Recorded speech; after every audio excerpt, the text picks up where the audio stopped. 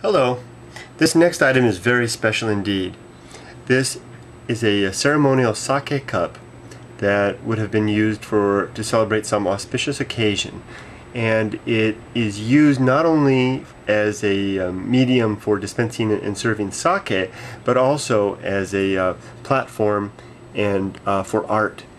The sake cup is very narrow and, and very small as you can see, uh, very um, it's not very high and includes very thin walls. The uh, vessel is made of wood and the craftsmanship that it takes to create this type of wooden uh, cup is exceptional. Uh, it can take uh, several years actually for this type of a cup to the body to be formed because the um, craftsman who creates the cup has to be very careful that after each significant cut is made of the wood the cup must be allowed to dry that in order that the uh, wood will not crack. If you look at the uh, walls, they're very, very thin, and even the uh, slightest atmospheric uh, humidity change or temperature change can cause the a vessel like this to crack.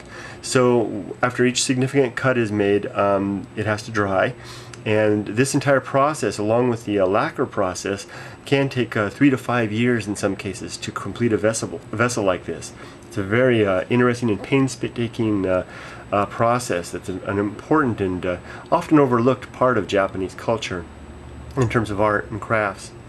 Um, let's turn now to the uh, decorative element. Uh, in addition to having uh, several layers of lacquer finish covering the entire vessel, there is a final uh, decorative um, painting upon the vessel. Now this is not paint. This, this decorative element is actually gold and black lacquer over the red, red base.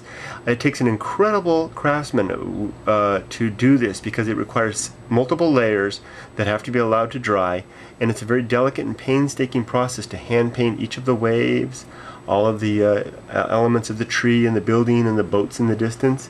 Let's see if we can get in and take a close look at that. You can see the uh, boats, some atmospheric effects. Sorry for the glare there. Very, very nice. These type of items are uh, uh, were in the past often given as uh, were used at, at weddings um, or to or various celebrations. Uh, even with the military, sometimes vessels like this, although not quite like this, uh, would have been given uh, to commemorate special events or as gifts to soldiers. the military vessels tend to be slightly different, though. This was probably for a wedding or a decorative piece only. Thank you very much for uh, dropping by to have a look at this very special and unique form of sake cup with a beautiful makie finish. Thanks for dropping by. Take care.